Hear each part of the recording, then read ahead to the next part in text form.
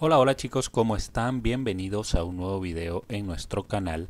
En esta oportunidad les voy a enseñar a cómo apagar cualquier controlador de PS5, ¿ok?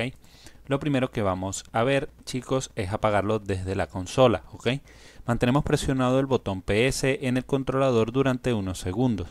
Seleccionamos apagar controlador en el menú que nos aparece. El segundo paso es desconectar manualmente. Si no podemos acceder al menú, simplemente mantenemos presionado el botón PS durante aproximadamente 10 segundos hasta que se apague.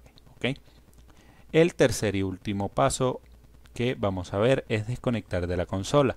También podemos desconectar el controlador de la consola a través de configuración, luego dispositivos, luego controladores y seleccionamos desconectar.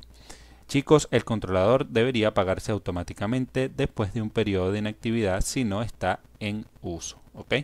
Sin más que decirles chicos, esto es todo por el video de hoy. Espero que les haya gustado.